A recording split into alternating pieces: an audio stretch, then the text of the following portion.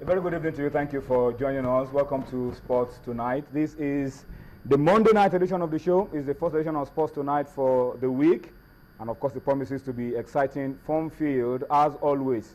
Usually on a Monday, we review uh, a lot of the events that happened over the weekend, and we also try to situate um, events for the new week. Tonight will not be any different. We'll take a look at events that happened over the weekend, and there were quite a number uh, of those events that we'll talk about um, on the program tonight, and as well look into the future. Um, a lot to look forward to um, this week. We will try to talk about all of those as well uh, as we go along on Sports Tonight this Monday. But we'd like to start by saying thank you to you for joining us on Sports Tonight. And uh, let me just quickly introduce to you my partners on the program tonight. Austin Okon-Akpan uh, keeps his place um, in the starting lineup. The reason is obvious. Um, tomorrow, that's um, Austin, mm. Channels National Kids Cup. Yeah, showing on your screen now, mm -hmm. 2015. It starts tomorrow. Yep. And we'll be talking about it as we go along on the show tonight. Onye Wuchiwachuku, Onye Proverbial Nwachuku is also on the show uh, tonight. There will be plenty of proverbs tonight, particularly if you're a lover of shooting stars of Ibadan. And uh, Aqua United, Onye has a proverb for you that the morning decides the day, how you start the season probably will show how you end it. That's for shooting stars. Toby Adepoju is also in the house. Let me tell you, he's a shooting star supporter, but he's not been feeling fine since Saturday when shooting lost to Heartland of Owerri. He's, he's not been himself, but he's going to be on the show tonight. We'll touch his, uh, feel his body, and see if he's uh, going to be up to scratch uh, as we go on. And uh, don't worry, just wait for that part of the show when we'll be reviewing uh, the Globe Premier League after the second week of uh, games are played over the weekend. Of course, um, the IWTF Lagos World Tour will also be an issue we'll talk about on the program tonight. And uh, our teams on the continent, good, the bad, the ugly, will also feature um, on the program tonight. But let's start the show up on a very, very sober note.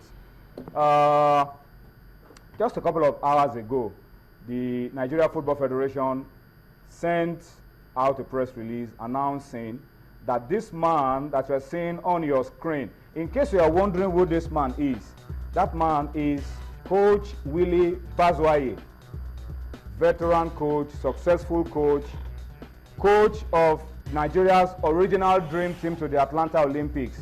He was very key to Nigeria winning gold in Atlanta Olympics.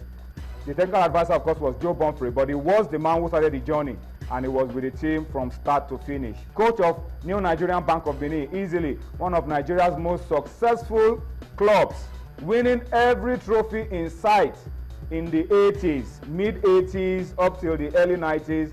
Willie Bazuaye. Sad news is passed on today. Willie Bazuaye is no more passed on at the University of Benin uh, intensive care unit. He was rushed there. He had a long battle with paralysis and eventually gave up the ghost today. So we start off the show um, on this very sober note, remembering another fallen hero. Gentlemen, Coach Willie Bazuaye. Before I come to you, uh, we have someone joining us on the line. Uh, someone who played under Willie Bazuaye, somebody who can talk to us uh, about Willie Bazuaye, the man, his philosophy, his life. Austin Popo, the General Secretary of the Association of Professional Footballers of Nigeria, AFON, is on the line to us on Sports Tonight to talk to us about uh, Coach Willie Bazuaye. Uh, Austin, thank you for joining us on Sports Tonight. W what kind of person was Willie Bazuaye? Well, uh, mm, so sad. Uh, Willie Bazuaye was, uh, apart from being a coach, was actually a father to all of us. And uh, no wonder, little wonder that uh, the team he coached prominently talking about the new Nigerian Basketball Club was very, very successful. Uh, particularly, I remember an incident where I had some issues with him on the pitch, and we went to the camp, and I was still carrying my long faces. He came to me, and I said, I, was it because of the issue we had in the field? That's why you're still carrying your long faces. No, that is the kind of person he is, because he understands the fact that he needs results. And he also knows the caliber of players that can give him the result.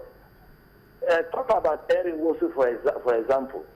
Uh, uh, clearly, Eric Wilson was very distinguished in our team. Mm. There are times we have issues with Eric Wilson. The players themselves would beg him, allow Eric Wilson to play, because at the end of the day, he will deliver for us. You know, it, it, it was not just a coach. It was it was actually beyond coach. He had his fatherly role. Um, he was so sound. You know, uh, I I tried to visualize so many things. You know, the exploit of the Nigerian Bank was so unique that he was able to build the team as one family to the extent that if a player in the Nigerian Bank happens to drink water or a drink and the other player will go there and pick it. It was it was it was a very unique team coached by a unique man, just not just a coach, a leader, you know, aspect. Mm. That Uh, is the kind of person he is. Au- Au- Austin, um, he died at the, he died. I mean, at a very ripe age. I mean, to be fair, 80 um, is a ripe one. But then the circumstances surrounding his physical shape, because he was a very strong man. Even when he was in the 60s, he was still actively coaching, very active. Um, but what lesson can we learn from the passage of uh, Willie Bazuaye in terms of how we respect some of these heroes, some of these legends of the game, some of those who actively served us uh, in their youthful life? These things we we keep reoccurring. It's not one, it's not two, it's not three. Even from the news I've even had now that Sebastian Broderick is single on the sick bed. You know, you know, you see, you see, we must talking about whether you are a coach, whether you are an ex-player. You see, I, th- I think the responsibility now falls on the issue of the coaches and the players association. No, the players association as a body has taken some bold steps in the past to ensure that we must take our destiny in our hands. Because hmm. this whole idea of, of just living our life, we just play and see somebody else will take your responsibility, it has to stop. That is why I beg everybody that, you know, there is a union recognized by the Nigerian Football Federation and FIFPro. There is also a body, Coaches Association. So the earlier, the better we come together and, and forge ahead uh, so that we can, you know, we just need to, we just need to be focused because at the end of the day, when we coach, ex-footballers, a lot of players are being owed money. 90% of players today, they will tell you, if you go ask them what are they going to do tomorrow, they say they will end up as coaches. And they will be coaching at the end of the day. They will be owed money for two years, three years. So at the end of the day, this same person goes into retirement without any form of money. How does it go for checkup? So these things they will keep on uh, reoccurring. So we must take responsibility to take our destiny in our hands. These are lessons we need to begin to learn and begin to see them and begin to analyze. Because the, the whole issue of blaming the every other person should be behind us. Because now, you, you remember just some few weeks, is there, we, we, sent close to about 40,000 naira for almost 10, thou- for almost 10 players, 40 times 10, about 400,000 naira of free Mm. to take up their health challenges. But the truth is that these two bodies, these two bodies, they are key, they are key to football in Nigeria. And we must be able to access statutory funding. You see, in the past, we tried to launch this players' welfare trust fund and all these things. These are issues we need to take seriously. The NFF was co- must come out. We need to sit down eyeball, eyeball to eyeball and discuss the issue of the, the, the coaches and players' welfare in Nigeria. Because they will, they will surely come.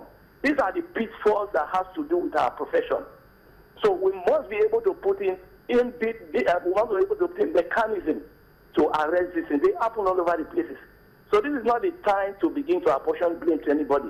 This is the time the coaches and the players they must come together and take their destiny in their hands. Hmm.